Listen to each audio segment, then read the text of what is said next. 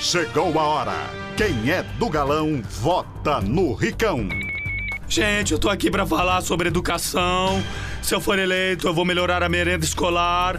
Agora as crianças vão comer croissant, brioche, vão tomar cappuccino. Vai ser jubiloso. Vote em Ricão. Ele vai resolver os problemas da cidade mais rápido que uma jaguatirica sem freio. Para prefeito, vote Celso Rotti. Se for eleito, Celso Rotti promete dar oportunidade para os mais velhos. Agora é a vez do aposentado. A juventude que se exploda. Agora é hora de mudança. Roger para prefeito. Roger é o candidato que tem mais experiência na área da saúde.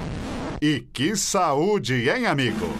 Conheça agora as propostas de Roger. Pessoal, se eu for eleito, eu prometo criar o PAC, o programa de aceleração do chinelinho. E lembrando também que o departamento médico agora é uma realidade. Vote Roger, o candidato que morre de amores pela cidade.